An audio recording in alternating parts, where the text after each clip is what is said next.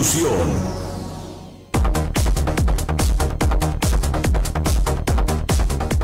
Hola amigos de Autostereo, muy buenas tardes, bienvenidos a, un programa más. El día de hoy vamos a platicar sobre los segmentos de autos en México. Esto, esto que de repente cuando nosotros buscamos un auto eh, nos confundimos en cuanto a qué segmento pertenecen, configuración de carrocería.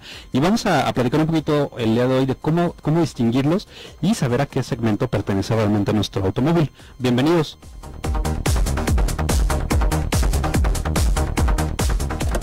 Ponte al volante ajusta el cinturón y enciende tu auto estéreo. Bienvenido al mundo automotriz. Esto es Auto Estéreo con Alonso Maldonado.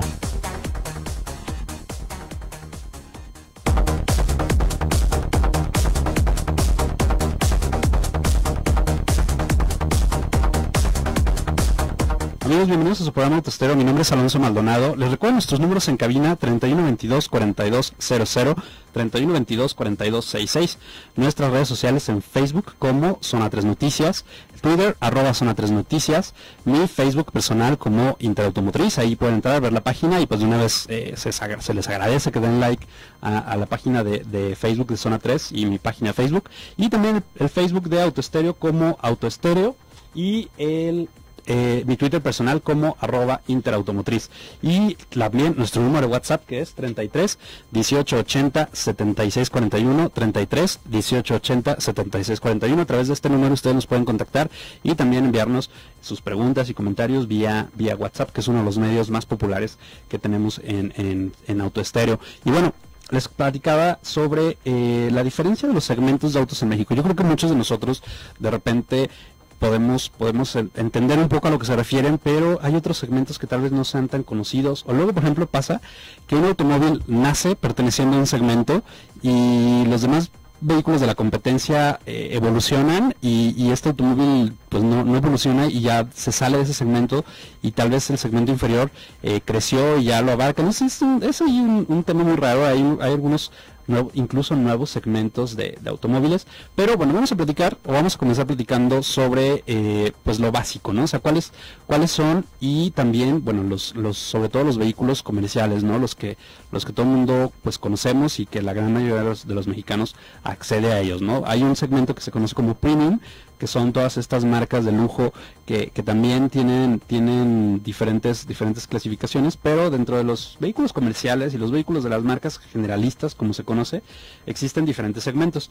El primero de ellos es, bueno, primero la carrocería, ¿no? Hay que, hay que, em, hay que aprender un poquito a, diferenciar lo que son las carrocerías. Tenemos lo que se conoce como el hatchback, que eh, son estos vehículos generalmente de tres o cinco puertas. La, tercera o quinta puerta se refiere al portón trasero, es decir, pueden ser dos, dos puertas laterales y el portón trasero, o cuatro puertas laterales y el portón trasero en el caso de los, de los cinco puertas. Y el hatchback existen desde los muy compactos hasta hatchback un poquito más grandes. Ahorita vamos a entrar más en detalles de cómo se dividen estos hatchback. De ahí pasamos a la versión sedán o a los autos en configuración sedán y se refiere a los que tienen, se conoce como tres volúmenes definidos. El primer volumen es la parte delantera donde va el motor, el segundo volumen es el habitáculo y el tercer volumen es la cajuela. Esto se conoce como un vehículo sedán. Coupé son dos volúmenes o tres volúmenes también, pero con carrocería eh, de solo dos puertas laterales, es decir, el espacio donde va el motor, el habitáculo, la cajuela y dos puertas laterales. Ya vamos empezando a, ver un poquito cómo se diferencia el segmento de los, los automóviles y los diferentes tipos de carrocerías. Una carrocería que está muy de moda actualmente y que también es un segmento, se puede considerar como un segmento, son los famosos crossover. ¿Cómo nace este segmento de los crossover? Eh, anteriormente, hace algunos años, generalmente los SUV o los, a las camionetas, las populares como, como Ford Explorer o, o Pathfinder, cosas así, eran derivadas de plataformas de pickups, es decir, eran vehículos más difíciles de manejar para el promedio o para el segmento que era el que más los manejaba, que eran las mujeres, porque eran vehículos más rudos, con una suspensión un poco más brincona, eh, con un mayor consumo de combustible, con también refacciones más caras, es decir, eran, tener un SUV era, pues, ya algo de lujo y era eh, exclusivo prácticamente para segmentos de, altos ingresos. El mercado y las necesidades de, ahorro de combustible, de tener un manejo más fácil, eh, de ser un poco más dinámicos, fue evolucionando a generar los crossover los crossovers son estas camionetas que se derivan de plataformas de automóviles. Por ejemplo, algunos de los más populares eh, son, por ejemplo, eh, Nissan X-Trail o Honda CRV, que derivan de plataformas de plataformas de automóviles. También, por ejemplo, una de las más populares, que creo que es de los más accesibles o fue de los más accesibles en, México, fue, por ejemplo, Ford EcoSport, que derivaba de la plataforma del Ford Fiesta. Es decir, a través de esta plataforma de, este subcompacto se logró generar una camioneta o un crossover compacto. Por ejemplo, Nissan Murano fue el que inauguró como tal el segmento de los crossover y utilizaba la plataforma de Altima, Ford Edge utiliza la plataforma de lo que ahora se conoce como Fusion. Entonces, bueno, empiezan a evolucionar y todavía siguieron vendiéndose algunos SUVs con plataformas de camioneta hasta ya pues los años más recientes que también ya tienen plataformas de, automóviles, lo cual los hace mucho más fáciles de manejar. Pero bueno, ya nos estamos desviando un poquito del tema. Ahí quedan SUVs y crossover. También existe el de los eh, pues de las pickups, que es muy pues muy sencillo, todo lo que son pickups, ya sea cabina sencilla, doble cabina, cabina y media, bueno, ahí se, ahí se diferencian, un poquito. Y los monovolúmenes que son estas minivans, o que se conoce como minivan, y puede ser desde, por ejemplo, lo que se conoció como Chevrolet Merida, o Chevrolet Zafira, hasta pues, lo más, los más populares que son Honda Odyssey o eh, Toyota Siena, pasando por eh, lo que es Chrysler Voyager, ¿no? Entonces, bueno, ahí empezamos a diferenciar un poquito. Pero bueno, tenemos el segmento de los autos citadinos. ¿Qué automóviles son los que pertenecen, por ejemplo, a estos famosos city cars eh, que, son, que son también ya muy populares en México? Son, por ejemplo, Hyundai Grand i10, Chevrolet Spark, o Fiat Uno, por ejemplo. Estos, estos vehículos por el tamaño, por precio, por, por el espacio interior y por el tamaño del motor, sobre todo así como los consumos, pertenecen a este segmento de los autos citadinos y no quiere decir que exclusivamente puedan andar en ciudad, sí pueden salir de ciudad, pero están muy enfocados a su uso diario dentro de las ciudades, buscando el mayor ahorro de combustible y la mayor practicidad posible para los usuarios que bueno, tienen que andar por el tráfico citadino prácticamente todos los días. De ahí pasamos al siguiente segmento que es de los subcompactos. En este segmento subcompactos, pues ¿qué encontramos?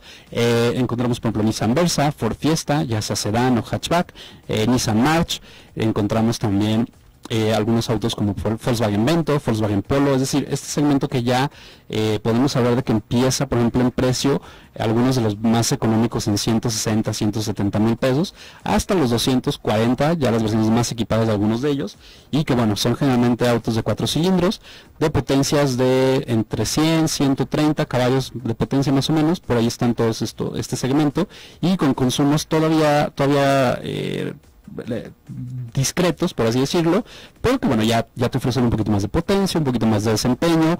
También ya últimamente este segmento equipa mucho, mucho lujo, mucho, mucha comodidad. Eh, por ejemplo, hace algunos años todo el sistema de pantallas, por ejemplo, de GPS estaba reservado para los autos premium carísimos. Y bueno, ya en este segmento los subcompactos, que es el, tal vez el más popular en México, ya cuenta con elementos como cámara de reversa, GPS, nave, eh, pantalla, audio por Bluetooth, manos libres, es decir, estos segmentos han subido en precio sí, pero también han subido mucho en equipo y creo que han subido más en nivel de equipo que lo que, que lo que han subido en precio a lo largo de a lo largo de estos años.